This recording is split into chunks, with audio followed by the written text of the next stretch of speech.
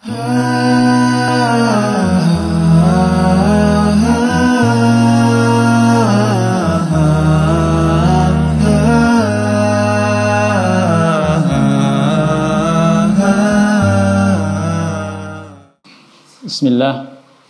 Assalamualaikum warahmatullahi wabarakatuh.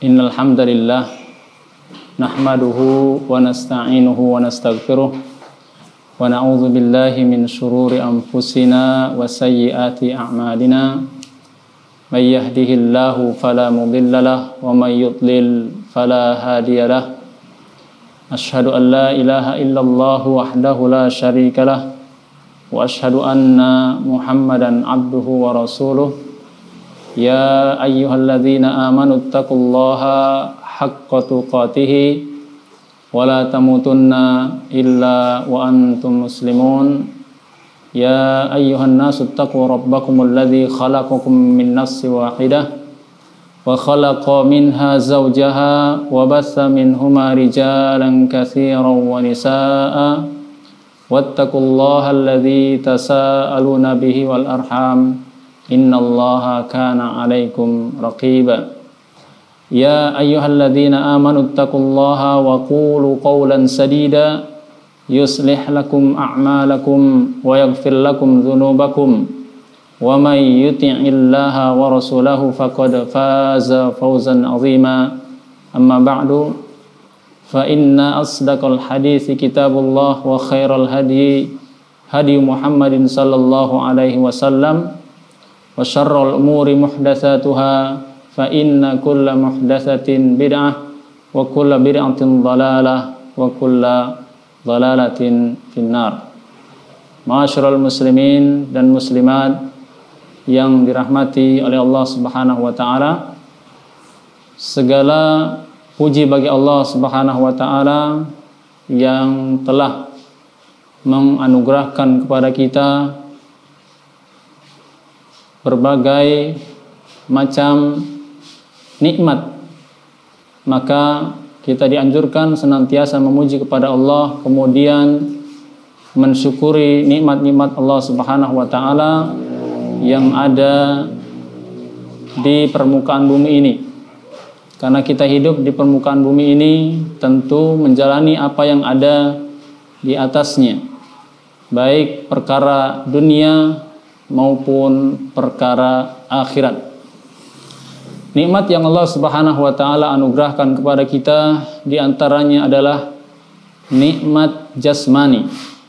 Di mana Allah Subhanahu wa taala menciptakan manusia fi ahsani takwim dengan sebaik-baik bentuk sehingga Allah Subhanahu wa taala menciptakan manusia dengan dua mata kemudian dua tangan dua kaki serta anggota tubuh yang lainnya dan ini patut kita syukuri karena ini adalah semuanya pemberian dari Allah Subhanahu wa taala Demikian juga nikmat Allah Subhanahu wa taala yang lain adalah nikmat rohani. Di antaranya adalah dengan kita mempelajari Islam, kemudian iman, kemudian ihsan. Yang ini disebutkan dalam hadis Nabi Shallallahu alaihi wasallam yang sangat panjang tentang malaikat Jibril alaihi salam mendatangi Nabi Shallallahu alaihi wasallam dan menanyakan tentang Islam maka Nabi Shallallahu Alaihi Wasallam menjawab dengan rukun Islam yang kita ketahui bersama. Demikian juga malaikat Jibril bertanya kepada Nabi Shallallahu Alaihi Wasallam tentang rukun iman. Maka Nabi Shallallahu Alaihi Wasallam juga menjawab rukun iman yang sudah kita ketahui. Demikian juga malaikat Jibril alaihissalam bertanya tentang rukun ihsan. Maka Nabi Shallallahu Alaihi Wasallam juga menjawab dengan rukun Islam, yaitu rukun ihsan. Ya, rukun ihsan, sebagaimana Nabi Shallallahu Alaihi Wasallam menyebutkan engkau beribadah kepada Allah seolah-olah engkau melihat Allah. Jika engkau tidak melihat Allah, maka Allah Subhanahu wa taala akan melihat engkau. Nah, inilah beberapa nikmat-nikmat yang Allah Subhanahu wa taala berikan kepada kita dan masih banyak nikmat yang lain yang Allah berikan khususnya kepada manusia yang diberikan oleh Allah Subhanahu wa taala akal. Maka kita tidak diperintahkan untuk menghitung nikmat Allah akan tetapi kita diperintahkan hanya untuk mensyukuri nikmat Allah Subhanahu wa taala tersebut. Demikian juga salawat dan salam kepada Nabi kita Muhammad sallallahu alaihi wasallam yang telah mengajarkan Islam kepada para sahabat, kemudian orang-orang setelahnya dan setelahnya sampai kita sekarang merasakan Islam, merasakan sunnah Nabi sallallahu alaihi wasallam. Walaupun kita tidak bertemu dengan Nabi Shallallahu Alaihi Wasallam, tapi kita merasakan hadis-hadis beliau, hadis-hadis yang sahih, yang para ulama menuliskan dalam sebuah kitab-kitab hadis, dan kita dan kebanyakan juga kaum muslimin sudah mempelajari tentang hadis-hadis Nabi Shallallahu Alaihi Wasallam, terutama hadis-hadis yang sahih. Kaum muslimin dan muslimat yang dirahmati oleh Allah Subhanahu wa taala. Pada kali ini kita akan membahas tentang perkara yang sangat penting dalam agama yaitu setelah Al-Qur'an adalah bagaimana kita menjaga sunnah sunnah Nabi Shallallahu Alaihi Wasallam kemudian juga adab-adab sunnah Nabi Shallallahu Alaihi wasallam. Ini saya ambil dari kitab Riyadhus Salihin, kitab yang sangat baik yang kaum muslimin sebagian mereka sudah mengetahui tentang kitab ini, maka kita akan bacakan beberapa ayat atau hadis Nabi Shallallahu Alaihi Wasallam tentang perintah untuk menjaga sunnah Nabi Shallallahu Alaihi Wasallam serta adabnya. Kita akan bacakan beberapa ayat dari surat Al-Hasyr ayat yang ketujuh. A'udzu billahi minasyaitonir rajim. Wa ma atakumur rasulu fakhudhuhu wa ma nahakum anhu fantahu. Apa-apa yang datang dari Rasul maka ambillah dan apa-apa yang dilarang oleh Rasul sallallahu alaihi wasallam maka jauhilah.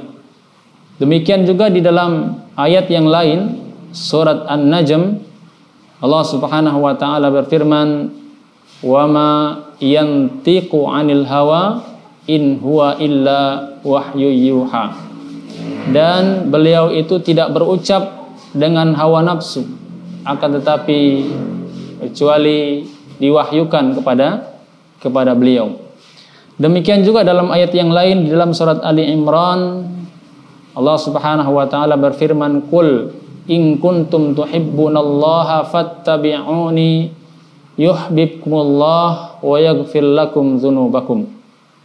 Jika kalian cinta kepada Allah, maka ikutilah aku, maka Allah akan mencintai kalian dan Allah Subhanahu wa taala akan mengampuni dosa-dosa kalian. Demikian juga di dalam surat Al-Ahzab Allah Subhanahu wa taala berfirman laqad kana lakum fi rasulillahi uswatun hasanatun liman kana yarjullaha wal yaumal akhir. Telah ada pada diri Rasul sallallahu alaihi wasallam contoh teladan yang baik bagi siapa yang mengharapkan Allah dan hari akhir.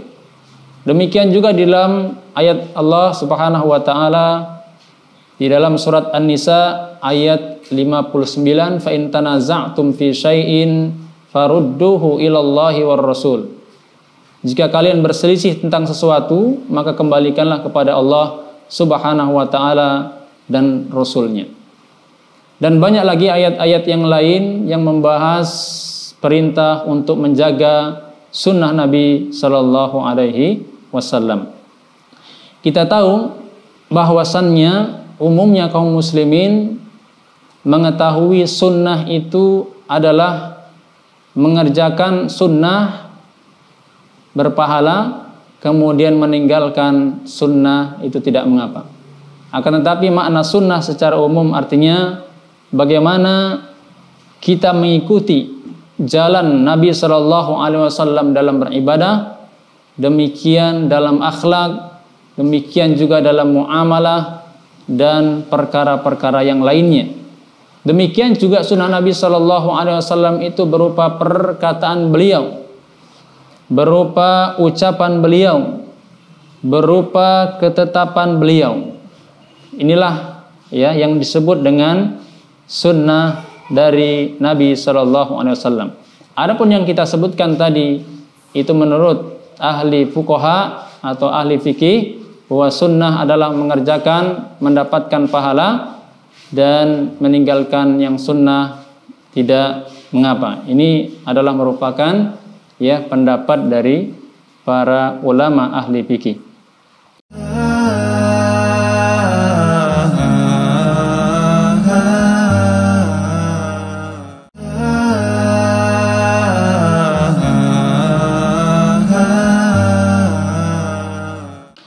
Maka tidak diragukan lagi bahwa Nabi Shallallahu Alaihi Wasallam diutus ke muka bumi ini adalah dengan membawa petunjuk, kemudian membawa agama yang benar, yaitu agama Islam. Petunjuk di sini artinya adalah ilmu yang bermanfaat, sedangkan dinul haq atau atau agama Islam adalah merupakan amal saleh. Maka ketika seorang muslim mempelajari Islam berarti dia harus mengetahui ilmunya. Demikian juga setelah dia mengetahui ilmunya, maka kewajibannya adalah mengamalkan apa yang telah dia pelajari dari Islam ini. Kaum muslimin dan muslimat yang dirahmati oleh Allah Subhanahu wa taala menjaga sunnah Nabi Shallallahu Alaihi Wasallam ini terbagi menjadi beberapa bagian. Ada yang hukumnya fardu ain, ada yang hukumnya fardu kifayah dan juga ada yang hukumnya sunnah. Fardu ain artinya adalah contohnya ya, contohnya setiap muslim wajib untuk beramal. Setiap muslim wajib untuk melakukannya. Di antaranya ketika Allah Subhanahu wa taala perintahkan manusia atau umat Islam untuk melaksanakan salat, maka kewajibannya adalah menunaikan wudhu. Berwudhu terlebih dahulu, kemudian juga melaksanakan salat Nah, ini adalah merupakan fardu ain. Berwudu adalah fardu ain. Kemudian juga salat lima waktu adalah merupakan fardu ain. Zakat fitrah juga fardu ain. Zakat mal juga termasuk fardu ain. Puasa Ramadan juga termasuk fardu ain.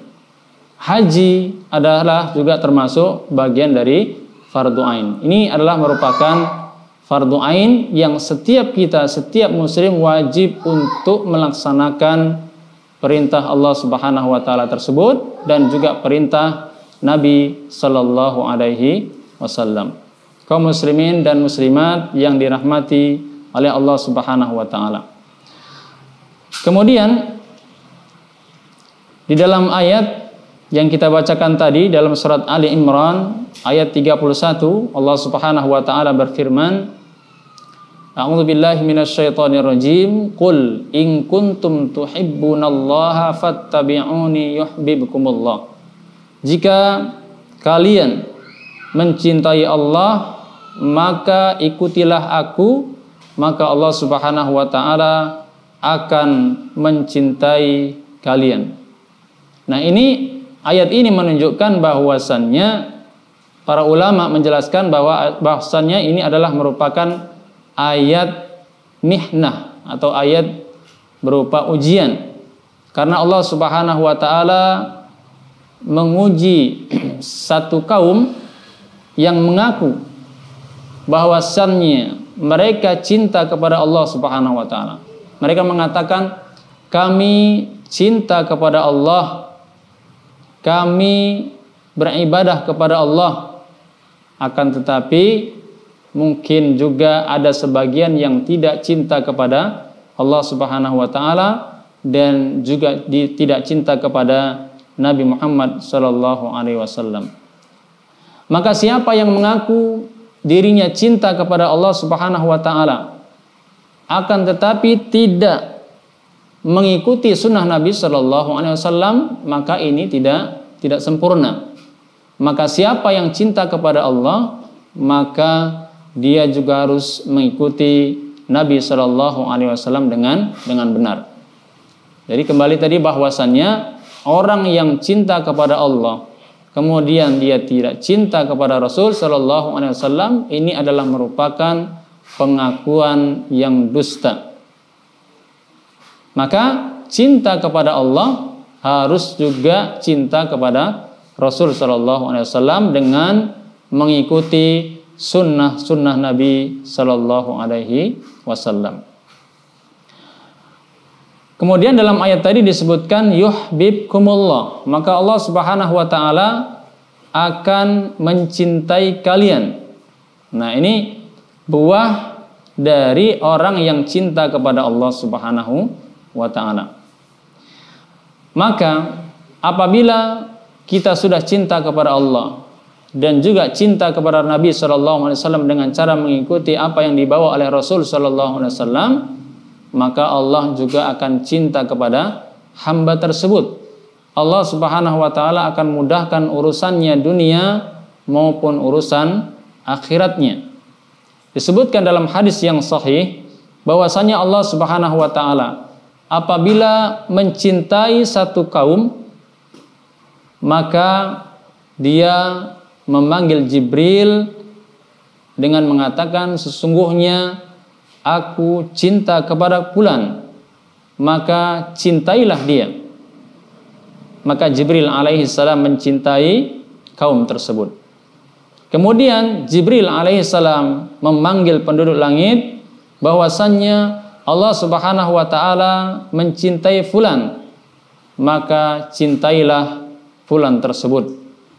Maka penduduk langit mencintai fulan atau mencintai kaum tersebut maka dia diterima oleh penduduk penduduk bumi.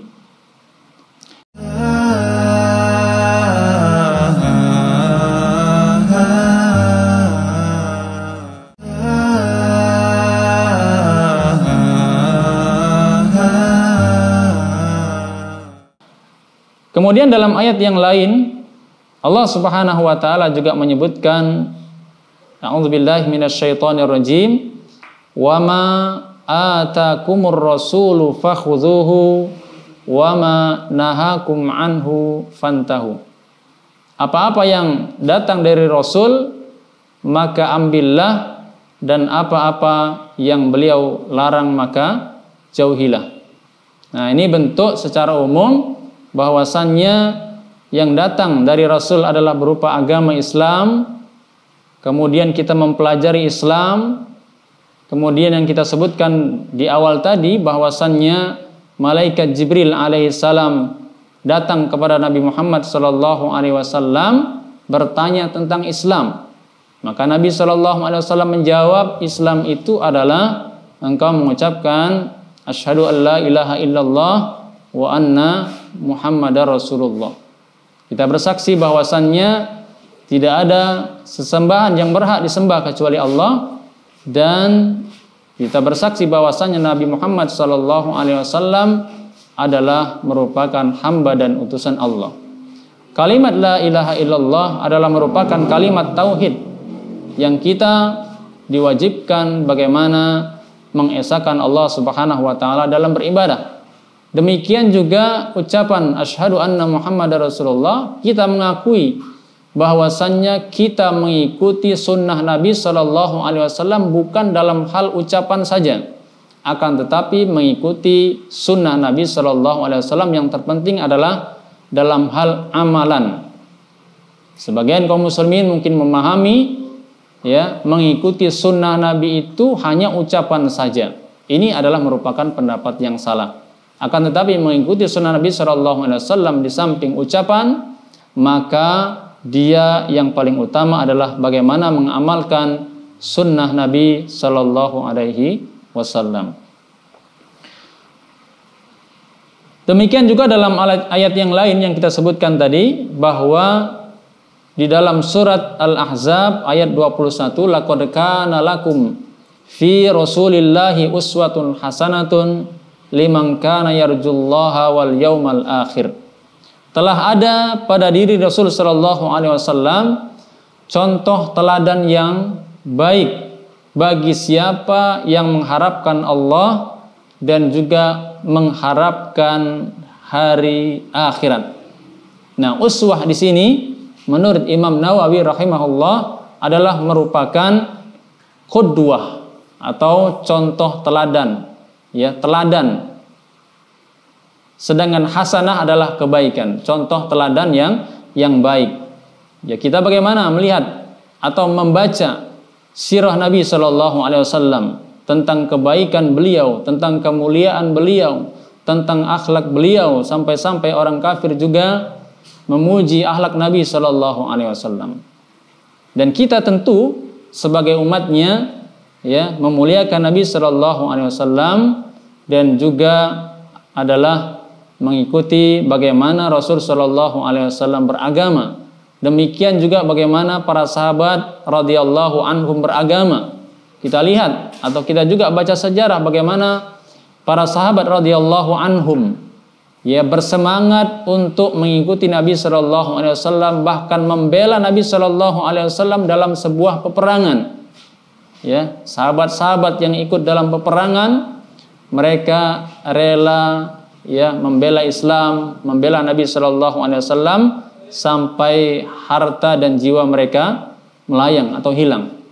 Nah ini adalah merupakan satu ya perkara atau hal bagaimana kita tetap berupaya bagaimanapun yang kita hadapi di akhir zaman ini, zaman yang penuh dengan fitnah, bagaimana kita tetap untuk istiqomah di jalan Allah Subhanahu wa taala, kemudian di uh, sunnah Nabi sallallahu alaihi wasallam. Kaum muslimin dan muslimat yang dirahmati oleh Allah Subhanahu wa taala. Jadi mengikuti Nabi Shallallahu Alaihi Wasallam secara umum adalah merupakan kewajiban. Ya, semua apa yang diperbuat Rasul, apa yang dikatakan oleh Rasul Shallallahu Alaihi Wasallam, maka kita wajib untuk mengikutinya. Kecuali ada perkara-perkara khusus yang ada pada diri Nabi yang itu tidak diamalkan oleh umatnya. Contohnya adalah Nabi Shallallahu Alaihi Wasallam memiliki istri lebih dari empat maka kita umatnya tidak boleh lewat dari itu. Ya, sebagaimana ayat yang sering kita dengar, ya, perintah untuk menikahi wanita satu, dua, tiga dan empat. Ya, dan jika kita tidak ya bisa maka cukup satu saja. Nah, inilah secara umum kaum muslimin dan muslimat yang dirahmati oleh Allah Subhanahu wa taala, ya, perintah kita untuk mengikuti sunnah Nabi wasallam kemudian bagaimana kita istiqomah untuk menjalankan sunnah Nabi Wasallam. Demikian ya mudah-mudahan bermanfaat bagi saya dan kita semuanya. Tetaplah istiqomah, tetaplah berpegang teguh kepada Nabi eh, sunnah Nabi Shallallahu Alaihi Wasallam. Demikian mudah-mudahan bermanfaat. Subhanaka Allahumma wa bihamdika asyhadu an la ilaha illa anta astaghfiruka wa atubu ilaik. Wassalamualaikum warahmatullahi wabarakatuh.